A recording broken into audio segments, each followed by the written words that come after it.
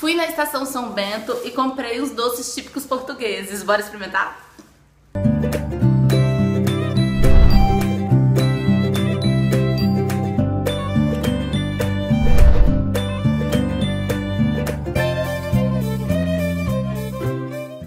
Bom, nós estávamos lá na estação São Bento, aí eu avistei uma menina, tipo com uma. Como é que fala aquele negócio que tem os docinhos dentro? Tipo carrinho de pipoca só com doce. Aí eu fui lá e perguntei, né? Ela falou: ah, são todos doces típicos de Portugal e tudo mais. Aí eu, ai, vou comprar, vou comprar alguns para experimentar, né? Para experimentar com o pessoal do YouTube. Então comprei. Ixi, mas você não vai ficar aqui não, porque com doce não dá, filha. Aí eu comprei, né? Ó, um saquinho, vários tipos de doces típicos. E tem até um bolinho também. Hum. E eu vim experimentar com vocês. Vamos ver no que vai dar. Eles têm a cara muito boa. Eu até anotei o nome de cada um, porque eu não conheço, né, assim, o nome que dá aqui para esses doces. Se alguém aí, se tiver errado, me corrige. Foi o que a menina me falou que eu tô repassando aqui. Ó, o primeiro... O primeiro é esse daqui, que ela falou que o nome é Almendrade almendrade. Ele é como se fosse um cookie assim e tem uma amendoazinha aqui. Ele é feito de amêndoa, né? Provavelmente. Eu acho que é amêndoa, não sei. E eu vou experimentar. Parece um cookie mesmo a princípio. Hum. É um biscoitinho. E eu não sou chegada em coisa com amêndoa, essas coisas, mas tá bem gostosinho. É bem. É gostinho de biscoito.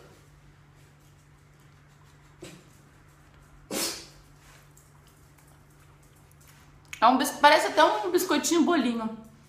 Ó. Muito gostoso, gente. hum, hum, adorei. Hum. Parece um bolinho, sabe? Biscoitinho bolinho, bem fofinho. Aí o outro que eu comprei hum, foi esse daqui. Tem que traduzir o que a gente escreveu, né? Porque. Esse daqui, ó. Que ela falou que é o coco de papel. Parece que é um docinho de coco. coco de papel. Ó, ele é todo amarelinho e tem um pouquinho de coco assim em volta. Vamos ver.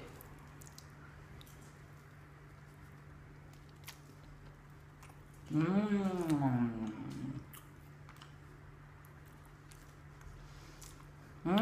Do que o outro. Ele tem muito gostinho de coquinho. Sabe o que, que lembra? Quindim. lembra quindim. Eu acho que é mais ou menos a mesma, só que a textura é totalmente diferente e tal, mas eu acho que é por causa do coco. Olha por dentro, meio desfiadinho, tá vendo? Não sei se dá pra ver. Hum. Hum. Gostei bastante desse. Me lembra quindim. Esse é o coco de papel. Vê, se vocês souberem outros nomes, eu anotei tudo que a menina me falou, que é os nomes. Aí compramos esse. Ah, esse daqui, gente, eu achei que era, eu acho que é uma palha italiana. Ó. Ela falou que é o salame daqui, né? Mas também chama salame em Brasil, às vezes, não chama? No Brasil? Vamos ver se é palha italiana ou se não tem nada a ver. É cheio de biscoitinho, chocolate, tem açúcar cristalizado em volta.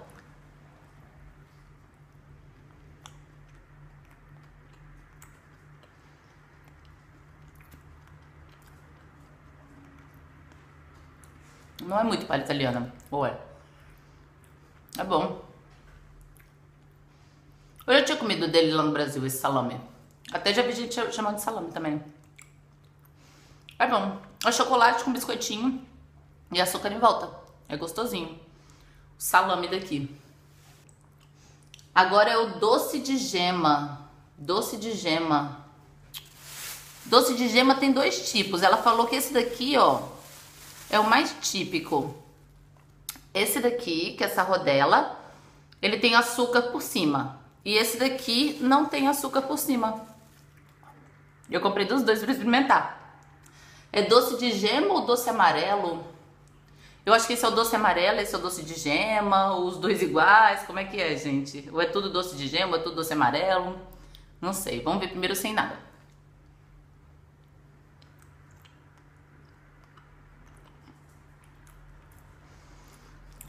Parece tem laranja. Parece um bolinho de nada. Bom para tomar com café, provavelmente. Eu não tomo café, mas meu marido sempre fala quando as coisas são meio assim, pouco doce assim para tomar com café, fica bom. Esse é o que tem açúcar cristalizada por cima, né? Açúcar cristalizada não, um açúcar passaram aí. Deixa eu ver. Prefiro esse.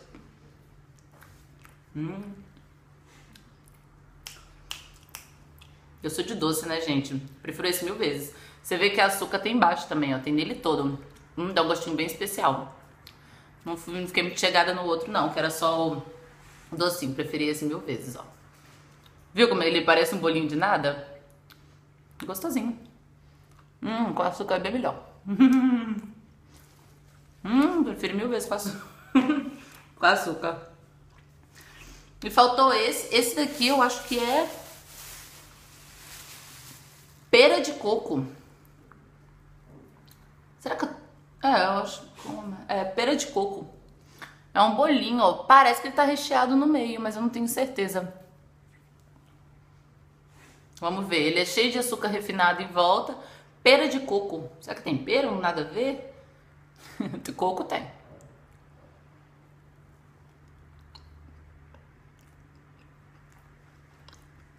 Hum. É recheado no meio. É goiabada? O que, que é aqui dentro?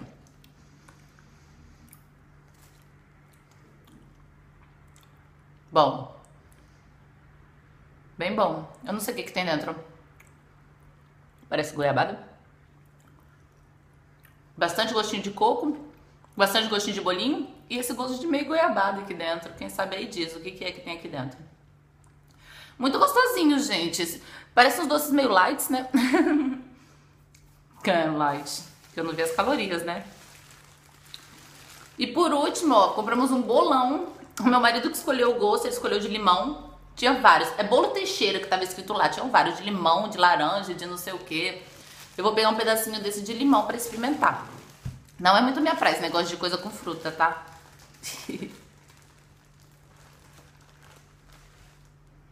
Peguei com a mão mesmo um pedacinho.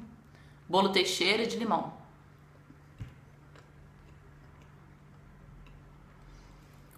Muito bom.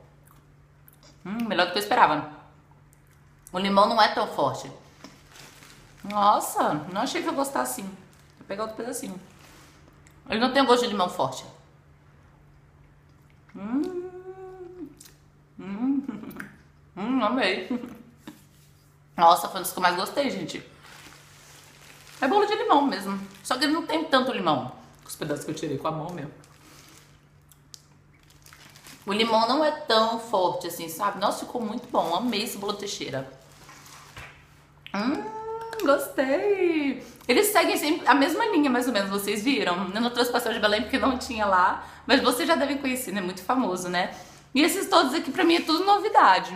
Todos eles têm um pouquinho de bolinho, né? Um, um queijo de bolinho assim de nada com ou laranja, tem um pouquinho do gosto de laranja no fundo, com açúcar cristalizada, com coco, tem muito coco, né? E eu achei os nomes super interessantes. O de amêndoa foi o primeiro, foi o mais diferente. Gostei de toda, gente. O segundo foi o, o coco de papel foi o melhor para mim. Vou pegar ele de novo para finalizar o vídeo. Esse. Foi o segundo que eu experimentei, depois o de amêndoa lá, do, do Almandrade. Esse foi o coco de papel. Hum. Os meus dois favoritos. Ui, caiu. Hum, esse. Não, esse é meu favorito, sem dúvida, lembrei agora. lembrei agora, coloquei na boca o gosto. Hum, esse é muito bom. Hum. Meu favorito, coco de papel. Meu segundo favorito, bolo de limão. Muito bom. Esse é quindim, me lembra muito quindim. E bolo de limão não tem tanto gosto de limão, uma delícia. Muito, muito bom. E vou selecionar o terceiro aqui. Eu acho que o terceiro favorito foi esse, ó. É o doce de gema. Doce de gema. Meu terceiro favorito. Porque o outro, o doce amarelo lá, sem, sem a, essa polvilhadinha de açúcar branco, eu não gostei tanto. Esse eu achei que me deu outro toque. Hum, chega. Engordei 10 quilos. Hum, adorei experimentar, gente. Espero que vocês gostem desse vídeo de experimentação, porque eu adorei. Hum, adorei experimentar esses docinhos. Vou esperar minha família chegar, que foi todo mundo no supermercado para comprar coisinhas para fazer bacalhau, não sei o quê. E vou dar pra eles experimentarem. Deixei um, só peguei um pedacinho de cada, só comi mais do pera de coco, não, do coco de papel que eu gostei muito. É isso, espero que vocês tenham gostado de experimentar comigo alguns doces portugueses. Eu gostei muito, gostei muito. Eles não são muito doces, sabe? Dá pra comer bastante. Amei, amei. Um beijo. Quem gostou, se inscreva no canal. Quem gostou, dá o like. E até o próximo vídeo. Com 10 quilos a mais.